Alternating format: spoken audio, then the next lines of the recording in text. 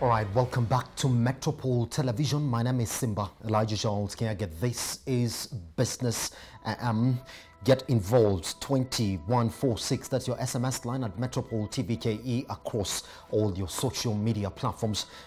Now, let's therefore get talking about the biggest economic headlines that you're waking up to this morning.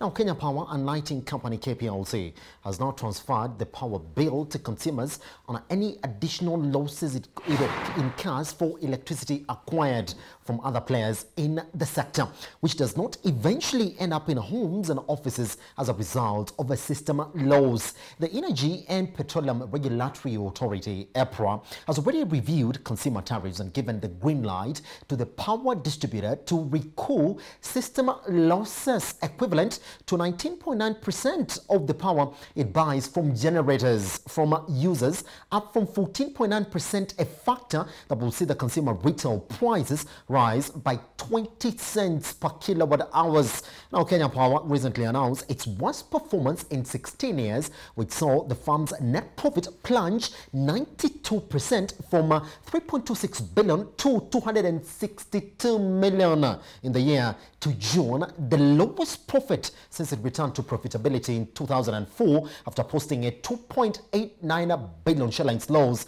the previous year. Now, the cost of buying electricity from power generators like KenGen jumped by 18 billion during the period. Now, Kenya Power said, blunting the impact of an increase in sales to customers. Now, Kenya Power had already been calling on an energy regulator to increase tariffs on power in the country. Question being, isn't billing power consumers for a system loss a shortcut to having their wish granted? Is this move really justified? And helping us understand this topic this morning, we are joined by George Aminga and Reginald Kaziti. George, I want to pick your two cents on that. It looks like they are finding a way to have the tariffs increased, whether we like it or not. Uh, Simba, that is the unfortunate uh, uh, thing that we are, we, we are experiencing as a country. And uh, I want to take you to the model that the, the, the, the, the government has in power generation and eventually power distribution. In Kenya, we have, especially that is for electric power, we have those who generate power. That is the like of the likes of GDC, that is Geothermal Development Corporation, the likes of uh, uh, Wind uh, Power Project, the likes of KenGen. And then there is the, the, the, the, middlemen, what I call middlemen, who now evacuate that power from the generators now to uh, KPLC, and that is where KETRACO comes uh, comes in. And then eventually we have KPLC that deals with uh, distribution, both corporate and, uh, and retail. And if you look at that, the, the, the entire chain, uh, it is controlled by the government, almost uh, 80, 80 something uh, percent uh, control. And if you look at government deficiencies that uh, now get into some of these companies, then you expect the cost of power in Kenya to uh, to, to, to, be to be higher vis-a-vis -vis, the region if you look at the cost of power per kilowatt hour, I mean per megawatt hour, in some of the Africa, African countries, I don't want to go to the West or, or, or, or Asian countries. If you look at a country like uh, uh Rwanda, uh, the cost of power is 182.7 per, per megawatt hour. Uganda, it is 152.78. Remember, some of these countries were the ones who were supplying them with power. And then uh, look at Tanzania.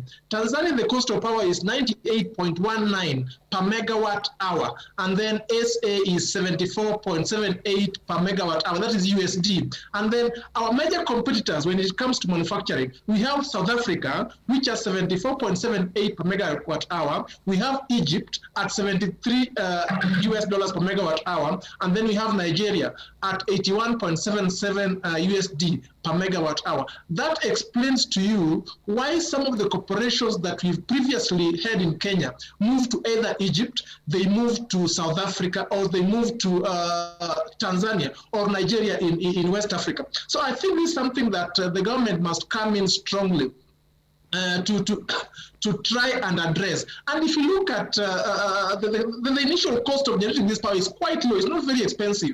But the only problem we have is the inefficiencies that are now uh, built in as you evacuate that power from the point of generation to the point of distribution. And those, in, those inefficiencies are, are eventually loaded on to uh, the consumer. That is why the cost of power has been very high uh, in Kenya, despite the cost of uh, fuel having been quite low between last quarter of 2019 up to up to date. Our cost of electricity is still quite uh, quite high, uh, quite high. But the other, the, flip side again is that despite the fact that the cost of power is high, uh, KPLC, which is a monopoly, uh, as reported mixed results. Uh, from 2017, they reported 5.2 billion profit, which is a very good profit. When they came to 20, 2018, that profit went down to Kenya shillings 1.9 uh, billion, and then it went down, went up again to 3.26 billion in 2019, and then lately in 2020 it has gone down by over 80% to 262 uh, uh, million.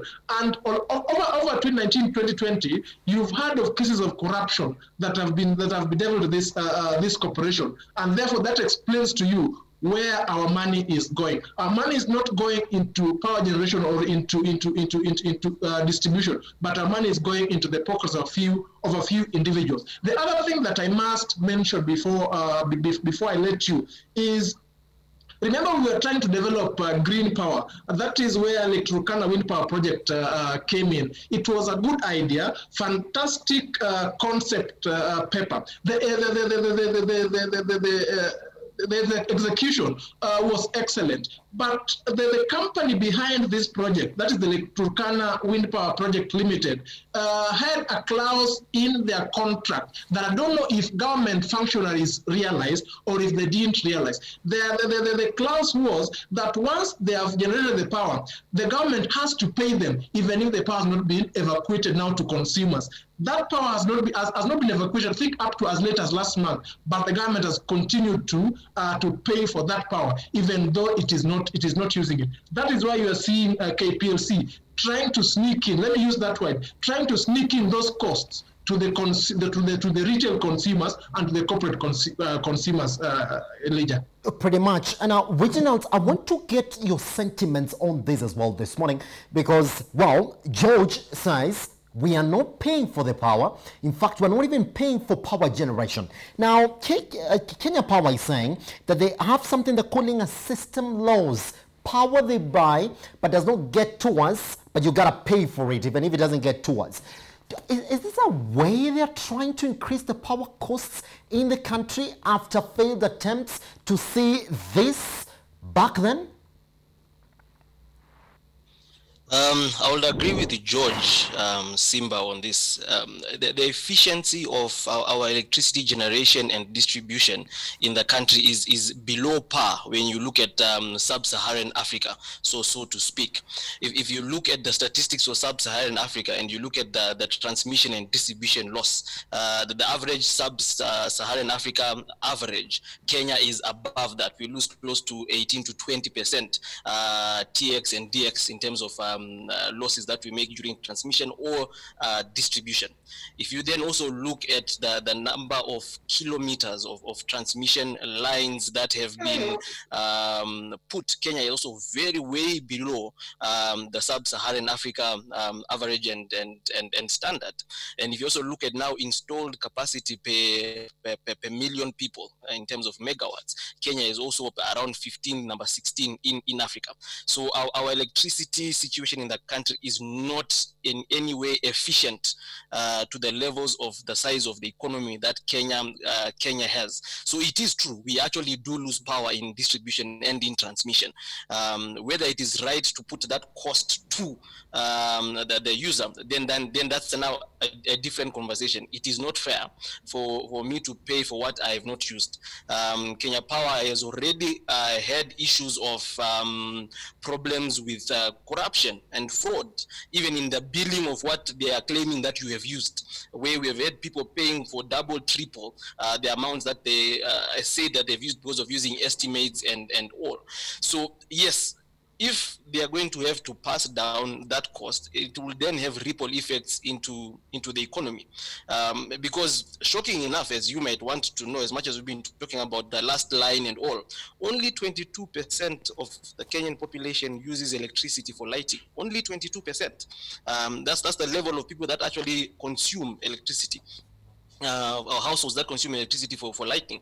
If you look at those 22%, those are the 22% that are most probably also in the formal uh, in employment. So what happens when you pass down that cost to that 22% um, uh, that, that, are using electricity? You're going to start reducing their disposable income because they have to pay higher um, electricity bills. As they start paying higher electricity bills, their disposable income reduces. What happens when disposable income reduces? That means that uh, the ability to save and consume also reduces in the economy and you will have ripple effects um, that will also hit the economy which is already on its on its knees.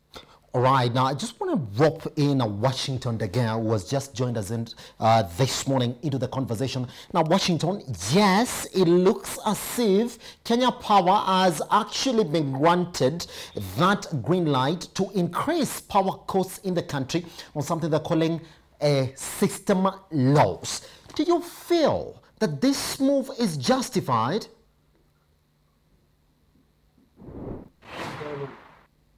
Um, no, the thing that find is, uh, I agree with my two colleagues here.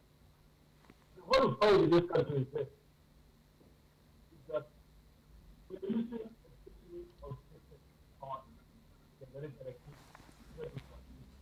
That's the biggest problem that we have. They're not upgrading the, the Power system as far as the generation and even of electricity is concerned. That's where how we want the system works. And, and, and I mean, look at it this way. Look at all the that we have of throughput of uh, electricity going to where it's not supposed to go to. You know? There's all these issues of uh, uh, illegal power disconnection that uh, Power is always uh, uh, having people in court Yes, Washington. Washington, we seem to have uh, a, a, difficult a difficulty in your audio this morning. Let's just fix it, and then we're going to come back to that because we're still on the topic now. George, uh, the company's results to indicate an increase in non-fuel power purchase costs by a whopping 18 billion. Now, if you look at that, that's a 34.1% jump from the 52.7 billion to 70.8 billion. Do you see this as an area of concern, especially considering that there has been an increase in electricity generation capacity, particularly on geothermal power, which is loaded onto Kenya's power purchase cost as a capacity hey. charge? Yeah, hey, let, let, let, me, let, me, let me say this, uh, Elijah. And first things first, um, I, if, if I was to drill down to, uh, to the cost of, of power in Kenya, and uh, the, happenings at, uh, at, at, at, at, at, KPLC. I would want to narrow it down to uh, the Turkana power, power project. Turkana power project one was very expensive. It got up billions of shillings. And I think by, by the time they cleared at the time now the, the, evacuation started, it took like almost 24, uh, 24 months. And the government had to pay that money. How did the government pay that money? Remember, there's a time that we had a problem with the billings. I don't know if you can you can remember, you can remember that I think it was early last uh, early last year, uh, going into the quarter two of, of, of last year.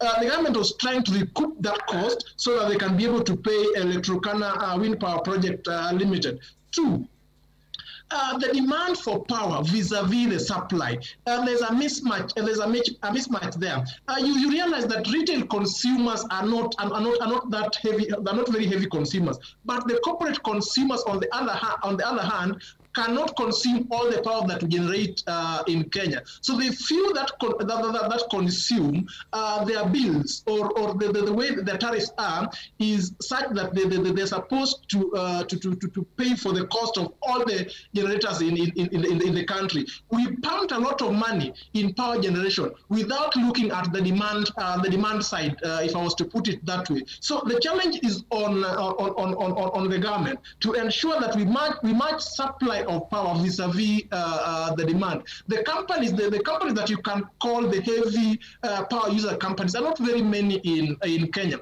and most of them are are, are, are dominated. I mean, are are, are, are, are concentrated in, in Nairobi and Nairobi metro, metropolis. If you go to the countryside, there are very very few heavy power power users. So that has to be has to be addressed. And then finally, Elijah we have a lot of inefficiencies from right from uh, from generation, that is at KenGen level, at uh, GDC level, at uh, Lake Turkana Power Project level, uh, then we have it at the point of this, I mean, uh, from evacuation, that is at KETRACO. Remember, these are government agencies, and then eventually at the distribution level, that is uh, KPLCs. So if government was to address those inefficiencies along that uh, value chain, then our cost of power will come uh, tumbling down quite uh, quite heavily. Remember, we are competing with a country like Ethiopia, and the cost of power per megawatt hour in Ethiopia is just 24.4 USD per hour. That is almost 10 times lower than what we charge in Kenya. Why would a company still be operating in Kenya when they can uh, access power at $24 per, per, per, per megawatt uh, hour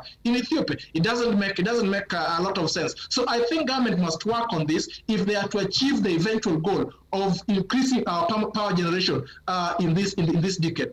Yes, uh, I also want your two cents on this. Now, when you specifically look at those numbers, and KPLC is telling us that non-power purchase costs are the ones that have increased by 34.1% to 70B. And this is the same same company telling you we're turning in losses, but most of our expenditure is going into non-power purchases. What, what, do you, what do you read into that specific area? Uh, inefficiency. Um, an, an, organization does not only have to manage their top line, which is revenue. Uh, you can be a very good revenue generating organization, but if you're not managed to able to, to manage your, your, your cost of operations, uh, then you realize you become an inefficient uh, organization. And, and, and it is um, a sad affair for most parastatals uh, that if you look at how they operate, you realize that they are the, the cost of running the parastatal is more than the cost of delivering the service they are, uh, they are supposed to uh, to deliver, which becomes very worrying to, to us, especially knowing that now they want to make KQ a parastatal as well. Uh, are we going to start going into into the same direction? So if you look at uh, example Safaricom, which is pretty much 40% uh, owned by uh, by the government, um, their top line continues to grow, but they manage to manage their operating expenditure. When you see a business where the operating expenditure is growing faster than revenue, um, then definitely you are going to run um, some serious losses. So at this point, the government needs to come out and say, is Kenya Power supposed to be profit making? If they do not want it to be profit making, then they delist it from the Nairobi Stock Exchange and make it a service to the um, um, uh, to, to the community, where we will not be looking at their books to see whether they're making a profit. And the government says our job is to provide electricity and and, and not to make a profit um, out of it. Then it's a decision they need to make. But if they want to run it as a profitable organization, like other electricity generating um, uh, companies everywhere, management. They need to put in a proper board. Uh, they need to do a complete audit whether do they have the people with the right skills to run an organization. And the appointments at Kenya Power need to stop being political appointments, but they need to be appointments of people who are qualified to actually do the job. Yes. Now, Washington, I know you're back. Let's pick your sentiments on that as well. The question to you was, yes, it seems as if now Kenya Power have been given that green light to charge more for the power costs in the country. Do you think that this move is justified, going by the fact that this is a company that is at its worst point in 16 years? Well, just like Malik, my colleague uh, Wimbaya has said, uh, I, I, found him talking. I didn't hear what George uh, uh, what, what George said, but uh, it's very very true. We need we need Kenya Power needs to be done away with. I mean, as a as a monopoly, so to speak. And you see, there's one thing about economics. What, what do you say about monopolies? Monopolies are very very wasteful, and monopolies should not be something that actually should be a profit-making organization. And that is exactly the reason why we are having Kenya Power. I mean, the government saying that they have to increase the, the, the, the price of um, electricity so they can make profits. You cannot make profits by force. You know, you cannot force, uh, you cannot increase uh, power. Uh, the people cannot pay pay more for power so that they can project profits so that the shareholders can get profit. That is wrong. That is wrong. And, and, and, and uh, for monopoly, I mean, just like uh, Wimba has said, if the government wants Kenya Power to be a profit-making company, why don't they open up the floor What do the people there feel for every other uh, uh, anyone else to generate electricity and they can uh, compete like anyone else? Because it being a monopoly, it's very very wrong. It's actually abusing the government is actually abusing its power by the way, by actually making people pay more for electricity. It's making actually people now shift to more uh, uh, alternative sources of electricity. For example, solar power. I've met I've met quite some few guys by the who don't anything to do with Kenya Power. They're doing strictly solar. We, we invest a lot and keep away from and, and it's not even efficient in distribution, even even in management. You're always having power blackouts a whole day going. You know how how how how how fair is this to the consumers? That's a big point we have here. You know. Yes. All right. Now, just to clear this conversation, therefore, uh, George I just want to get also your two cents on this. Now, we do know, and this is a very big concern, George. I mean, from where you're sitting this morning. Now, the manufacturers in the country were just crying the other day when we did see in the finance bill that they were supposed to pay more for power again just a couple of months when they were given the reprieve. Here comes now, you're waking up this morning. Now, the finance bill is saying that you have to pay more. Fine, we lost that. Now, another reason, another headline that you're going to pay more again. I mean, for anybody watching this as an investor and for anybody in the Kenyan economy right now, what ripple effect do we now associate this to? Uh, uh, Elijah, Elijah, I want to refer you back to our Vision 2030 uh, blueprint. That was a very critical document uh, for me as an, as an economist. Uh, if you look at the Vision 2030 blueprint that was uh, in the NARC regime, then one of the key aspects, one of the key drivers was manufacturing. And if they were to deliver manufacturing, then they were to consider uh, the cost of power as one of the critical uh, costs in manufacturing. And that is how uh, we, we, as a country, we, decide, we decided to increase our generating capacity of power so that we could supply power to our corporations, who would then now be able to, uh, to, to, to, scale up their, their, their, operations and therefore employ more, employ more, uh, more youth. That was a brilliant uh, idea. When it came to execution, then uh, we started well. Remember when uh, when when when KETRACO was formed, when GDC was formed, when KenGen was formed. These were noble noble ideas, and I think we were able to uh, to, to increase our power generation uh, to a level where we could now support our corporations. The the, the, the journey the journey uh, stop or the, the, the journey the journey uh, became tough when uh, now government functionaries uh, decided to get into some of these uh, corporations and try uh, to to to to to to to to, to, to co-own these corporations to buy shares into these corporations. What that entails is that these guys go in there with a prof, profiteering mindset in them, and that is what has now built into the inefficiencies that we are that we are seeing if you, if you look at, uh, I, I, always refer to the Turkana uh, wind power project. If you look at uh, the shareholding of that company, then it tells you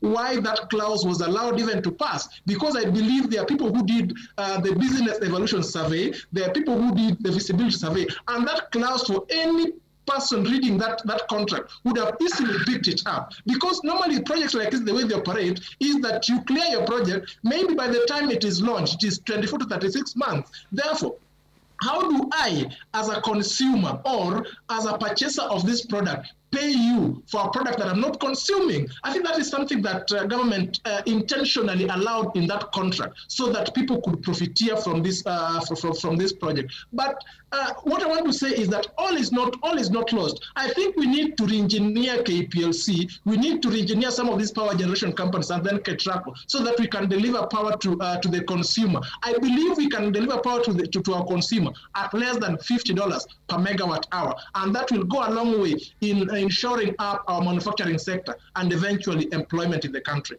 Pretty much. Therefore, George, on that, we take a short break, gentlemen. It's interesting that George is saying that all is not lost at Kenya Power, that it's possible for us to re-engineer Kenya Power. Reginald, once we come back, I'll pick your two cents on that as well, because as we do know, there is a management crisis at Kenya Power right now. As we do know of it, we have no board on board at KPLC. Once we come back, we continue with this conversation.